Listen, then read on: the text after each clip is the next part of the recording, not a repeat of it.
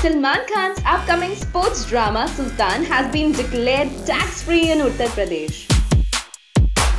The idea behind the move, which has been taken by the State Minister of Entertainment Department Madan Chauhan, is to encourage filmmakers to shoot more in the state. Sultan was shot at Muzaffarnagar in Uttar Pradesh recently.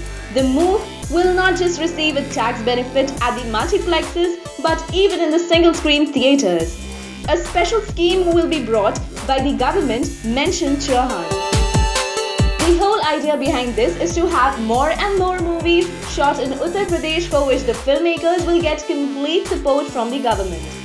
Sultan, which is directed by Ali Abbas Zafar, also stars Anushka Sharma, Randeep Hooda and Amit Sadh in noted roles. The film is set to hit the screens in Eid this year. So what do you feel about this story? Please do share in your comments. And for more Bollywood updates, please subscribe our channel Bollywood Inside Out.